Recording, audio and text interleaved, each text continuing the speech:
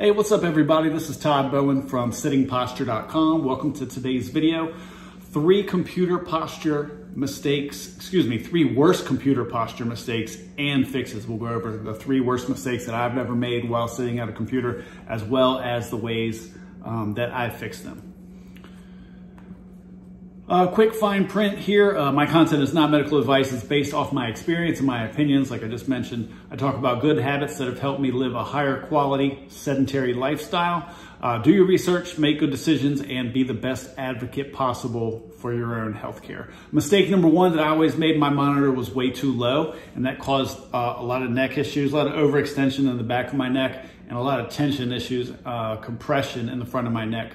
Uh, let's look at an example here. A perfect example uh, is if someone's using a laptop, uh, using the monitor on their laptop for long periods of time, eight hours a day, 40 hours a week, um, on an everyday basis, basically. Um, I, I, know laptops are convenient. Uh, we'll be able to take them places. We can't always take an extended monitor with us, um, but ideally we want to avoid looking down at that monitor screen on a laptop uh, for long periods of time.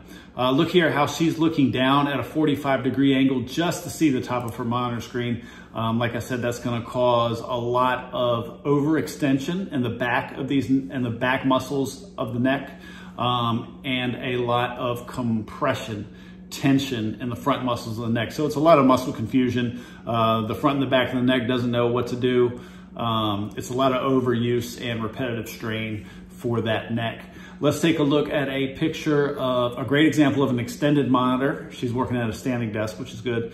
Uh, that's also good. Uh, if you look down here, if she was looking at her monitor, she's looking down at that 45 degree angle to just see the top of her monitor, but she's not worried about that because she's got the top of her monitor screen, her extended monitor at eye level. And that allows her to keep her neck in a neutral and balanced position. Um, this is a, a, fix that I did after making that mistake for many years of looking down at my monitor. Um, even when I was using an extended monitor, it would be too low and I was still looking down at that. But ideally we wanna have the top of our monitor screen at eye level. Okay, mistake number two, elbows below desk level. Again, this is a, a common mistake and, and, I made it for, for many years. Uh, look at his how his elbows are below the desk level. So his forearm has to go upward at an angle in order for him to use that keyboard and that mouse. Um, what that does here is that he has to contract his bicep in order to lift his hands on that keyboard and mouse. That bicep is contracted eight hours a day, 40 hours a week, um, and that repetitive strain and that overuse uh, causes a big issue with that bicep. We might not feel the tension or the pain in that bicep, but um, here's another example of elbow being too low below the desk level, forearm at an upward angle.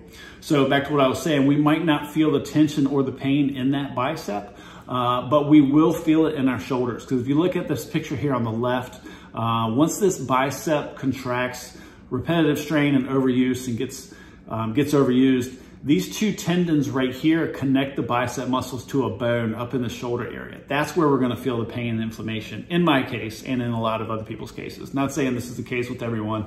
Uh, some people might have issues down here with this elbow tendon uh, where these biceps um, connect to the forearm. Um, but in my situation, I had this shoulder pain uh, from using this bicep too much. Um, let's look at an example here. Um, this guy on the left has got a good elbow height going on. It's slightly above desk level. You can see how his forearms are pretty much parallel to the floor uh, in order to use that keyboard. Um, and if anything, I would like to have my elbow a little bit higher and my forearms at a, a little bit of a downward angle. That'll put a little bit more weight, a little, excuse me, a little more burden onto the tricep. If you look over here on the picture on the right.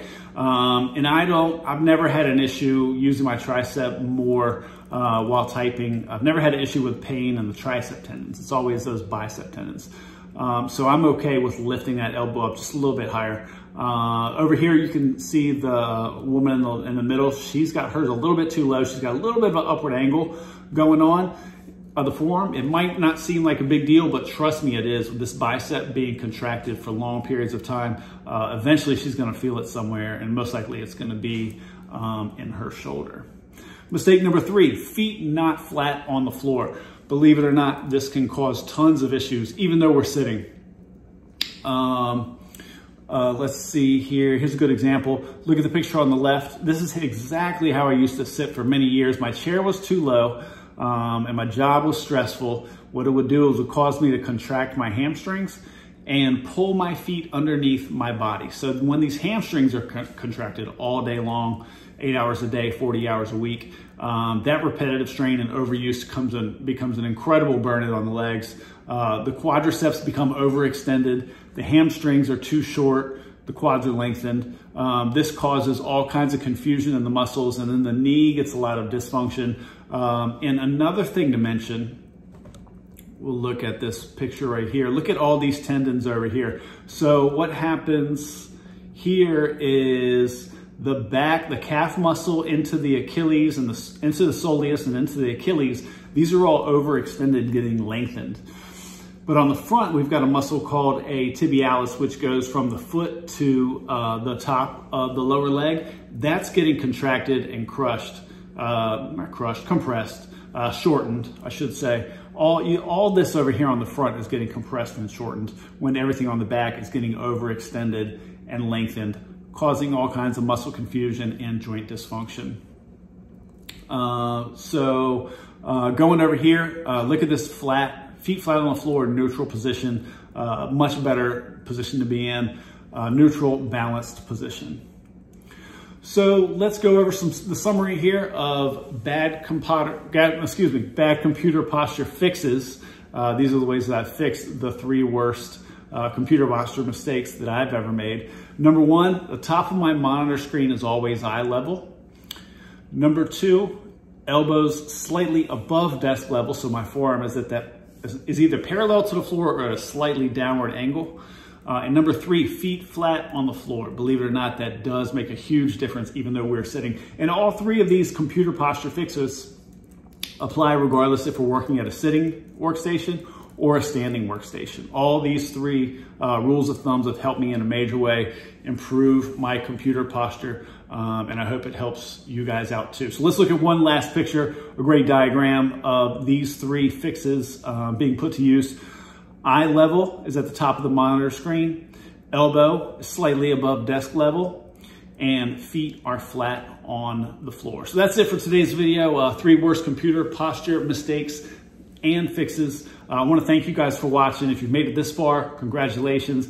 You're taking a big step forward in improving the quality of your life and your computer posture, and that's something to be very proud of. If you want to keep up with my content, the best way to do that is to sign up for free email updates. Uh, my newsletter is called Computer Posture Weekly. You can sign up for that at sittingposture.com slash newsletter.